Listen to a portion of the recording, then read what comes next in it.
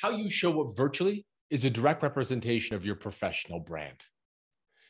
The objective is to connect with your audience. But more often than not, what do we do? We show up and share screen and virtually disappear from the stage. We're no longer having a conversation with the audience.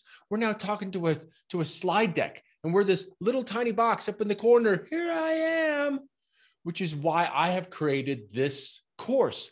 It'll teach you how to use your virtual backgrounds as your presentation deck.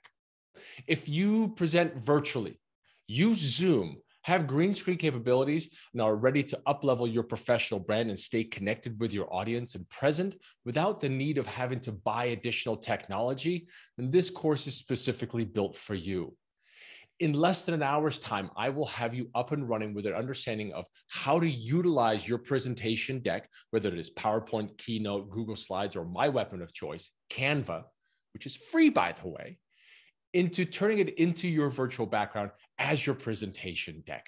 Click the link, join the course, make a small investment in time, and uplevel your professional brand and stay present and connect with your audience. I look forward to seeing you in the course.